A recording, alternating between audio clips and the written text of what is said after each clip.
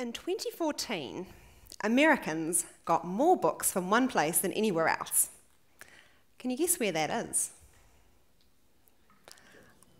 I'm going to tell you a secret. It's not Amazon. More than 2 billion books were put into the hands of the reading public by a library. Libraries outperforming Amazon, that's not the image that most of us have of libraries today. Many of us still think of libraries as being a quaint, middle class institution that, in an age of technology, has passed its due date. The idea that libraries could actually be on the rise is curiously counterintuitive. Technology has changed forever the way that we find information and the way that libraries provide it.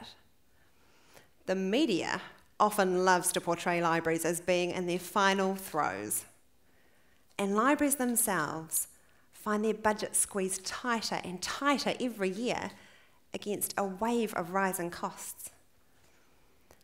And yet, libraries find themselves busier than ever. Why is that? Why is it that 50 million people find their way through the front door of a public library in New Zealand, physically or virtually, every year? The libraries of our childhood form a powerful idea in our minds about what libraries are. My childhood library was a Palmerston North Council building, and it was grey and minimalist, and inside it was filled with high shelves, serious adults, and books.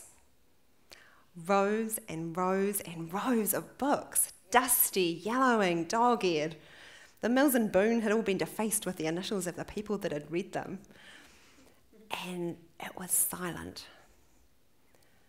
except for the occasional thump of a due date stamp. Many of us remember this library, we recognise it and we love it. But this library, this library of nothing but books and silence, is a lie. It's a myth of a previous time, and that myth gets in the way of us realizing an important truth that our world needs libraries more than ever. And I use the word need deliberately.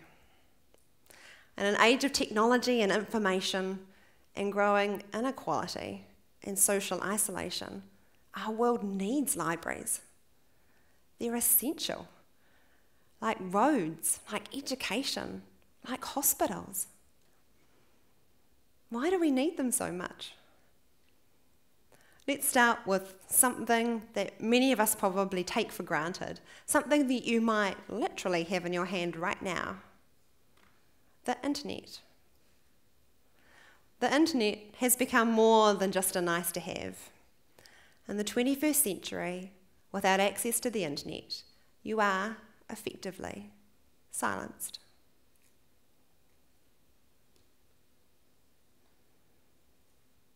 You do not have a voice. You don't have freedom of speech, and you don't have freedom of access to information. One in five children in New Zealand don't have access to the internet in their home. And we don't care about that because they don't have Facebook or Snapchat or Clash of Clans. We care about that because without access to the internet and the development of some of those basic digital literacy skills, the ability of those kids to go on and participate in society decreases dramatically. In order to apply for even the most basic job today, you need to have an email address and an electronic CV. How do you do that if you don't have access to the internet or any digital literacy skills? How do you find out about government services or support mechanisms that might be available to you if you don't have a computer or a smartphone. Lots of organisations are moving services online, and we generally think that that's a pretty good thing. But we can't ignore the fact that so many people don't have the access or the skills to get to those services. Last year, 8 million internet sessions were provided by public libraries in New Zealand up 68% on the year before, and another 5.5 million Wi Fi sessions. Public libraries in New Zealand provide access to the internet, and over 90% provide it for free. Up to June 2015, in the previous year, half a million people went to use the education sessions in a library.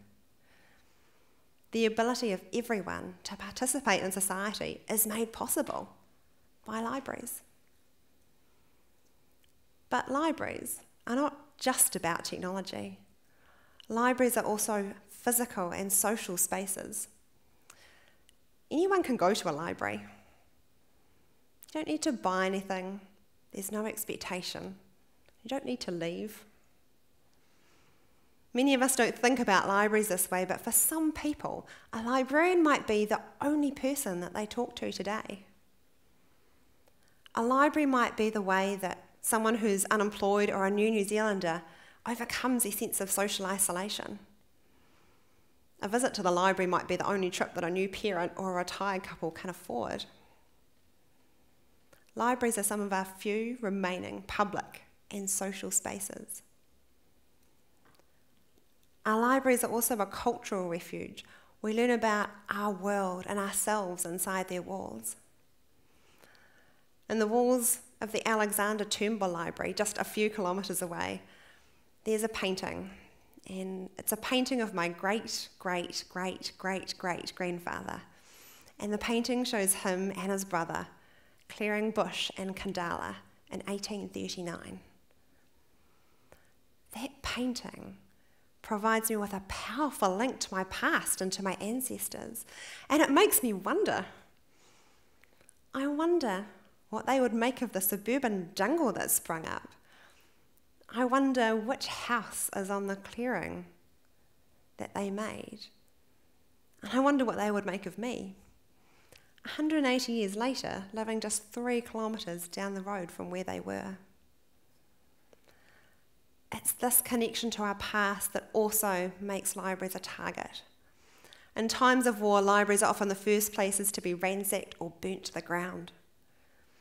That dislocation, that separation from our past, the erasure of history and evidence speaks to the power that a library has to hold our memory, to understand our present, and to look towards our future. In times of crisis, it's often the library that we turn to. Following the Christchurch earthquakes, as libraries reopened, they became places of familiarity and comfort.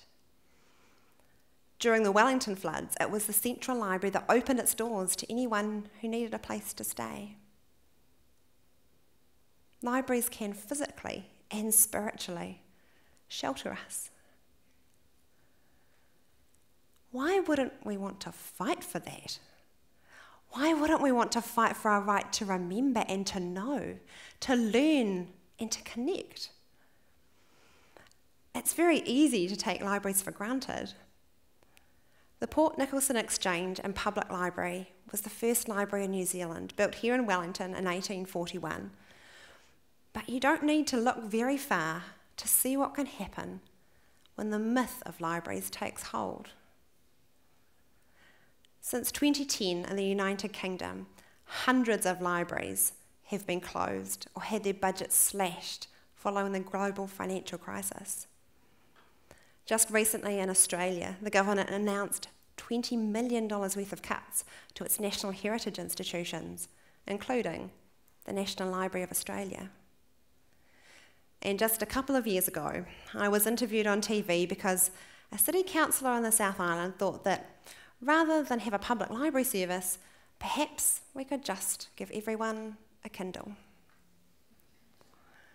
These kinds of stories are made possible by the persistent myth about what libraries are, those libraries we remember from our childhood, of nothing but books and silence. What will you do to give libraries a voice? What will you do to make sure that your public policy doesn't come from a Google search? That your diagnosis doesn't come from a Wikipedia page? That everyone has the right to participate in democracy? What will you do to smash that myth of libraries back into dust? Because libraries can and do change lives. A few years ago, I went into hospital for an operation, and while I was there, I met a man and we got talking, and he asked me what I did. I said, I'm a librarian. And he said to me, I have a real soft spot for librarians.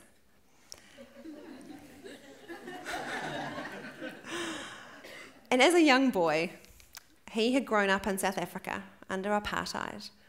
And because he wasn't white, his options and his access to education was limited. But every day, he would go into the library, and the librarians would let him in, and he would sit down at a table, and they would give him things to read, and he would read to his heart's content. Because those librarians cared more about his education and freedom of access to information than they did about rules on who was or wasn't allowed to be in the library. And that young boy became a doctor. And that doctor has been educating the next generation of doctors for more than 20 years.